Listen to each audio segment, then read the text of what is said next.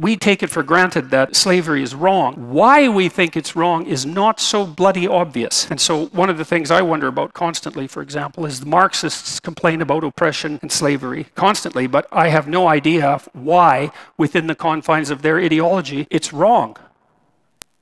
Because in order to believe that slavery is wrong, you have to believe that individuals are sovereign, right? That they should be autonomous, that they have free will, and that they shouldn't be subject to the arbitrary dictates of other individuals. So you have to believe in individuals, you have to believe in sovereign individuals, you have to believe in free will. You also have to believe in intrinsic value, right? Because if you have no intrinsic value, why can't I just impress upon you my will if I can get away with it?